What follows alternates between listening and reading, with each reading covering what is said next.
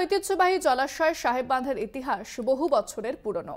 সেই থেকে বাঁধ দিয়েই ইতিহাস ঘিরে রেখেছে সেখানকার শহরবাসীর মনেও কিন্তু সেই ইতিহাস রয়েছে। সেই বাঁধকে ঘিরে এবার রাজনৈতিক চর্চা সাহেব বাঁধের পাড়ে বসানো ফলকে জলাশয় সংস্কারের কথা লেখা থাকলেও জলাশয় সংস্কার হয়নি, খোঁজ নেই সংস্কারের জন্য, বরাদ্দ হওয়া অর্থেরও। লালমাটির দেশ পুরুলিয়া।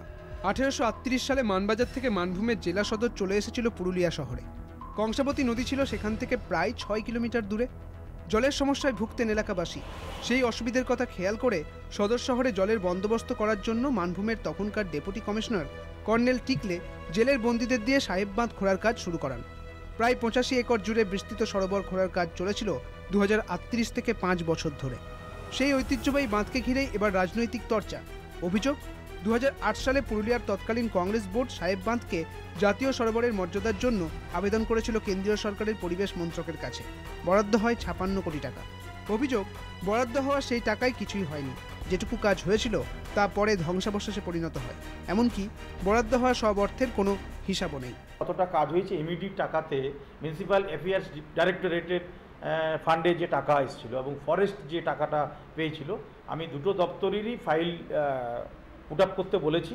এই দুটো ফাইল দেখে এবং আপনারা দেখেছেন যে কর্নারে যে এসটিপি যেটা মানে যাতে শুধুমাত্র বর্ষার জল ঢোকে, এমনি ড্রেনের জল যাতে না ঢোকে, তার জন্য ওখানে একটা ওয়াটার ট্রিটমেন্ট প্ল্যান্ট আমাদের তৈরি হয়েছে। সেটা নন ফাংশনিং ছিল দীর্ঘদিন ধরে।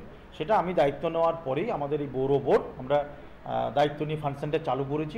তৎকালীন কংগ্রেস নেতা নেপাল মাহাতো উদ্যোগে আমরা এখান থেকে সে সময় গিয়েছিলাম এবং সাহেববান্ধের সৌন্দর্যের প্রচুর টাকা স্যাংশন করা হয়েছিল। আমি টাকার ব্যাপারটা এখন আমি বলতে পারছি না। স্যাংশন করা হয়েছিল এবং ইতি তার মধ্যে কাজও শুরু হয়ে গেছিল। দু হাজার দশ সালে কাজ শুরু হয়েছিল। তার ভিত্তিপ্রস্তর স্থাপন ওখানে হরিপদ সাহিত্য মন্দিরের সামনে আছে। তো সাহেববান্ধ নিয়ে পরিকল্পনা তখন থেকেই চলছে এবং এখনও চলছে।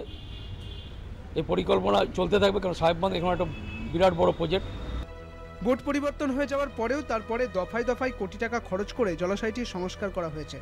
সৌন্দর্যায়নের কাজ হয়েছে, তবে বছরের অনেকটা সময় বাঁধের একটা বড় অংশের জল থাকে কচুরি পানায় ঢাকা।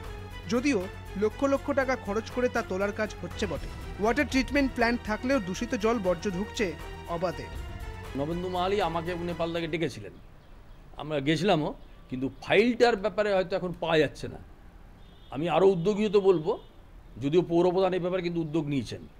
যে আরমারিটা ছিল, সে আরমারিগুলো আমরা গিয়ে দেখিয়ে এসেছিলাম, কিন্তু ফাইলটা নাকি খুঁজে পাওয়া যায়নি। এখন পুরুলিয়ার মানুষের স্বার্থে আমার যেটা মনে হয়, যেহেতু বর্তমান পৌরবোর্ড ডেভেলপমেন্ট করার একটা বিভিন্ন প্রচেষ্টা রাখছেন, সাহেববান সংস্কারও করে চলেছেন। পৌরপ্রধান কিন্তু আমাদের ডেকেছিলেন, জিজ্ঞেস করেছিলেন, আমরা ডিটেলসটা ওনাকে বলেছি। আরেকটু উদ্যোগী হয়ে পুরুলিয়ার মানুষের স্বার্থে। এলাকাবাসীর অভিযোগ, ঐতিহ্যের সাক্ষী জলাশয় ব্যবসা কেন্দ্র হয়ে উঠছে। জলাশয় ঘেঁষে নির্মাণ হচ্ছে বহুতল হোটেল। চলছে দূষণ সৃষ্টিকারী গাড়ির গ্যারেজ, কাঠের চেরাই কল। সাহেব বাঁধে পরিযায়ী পাখিরা আসছে না।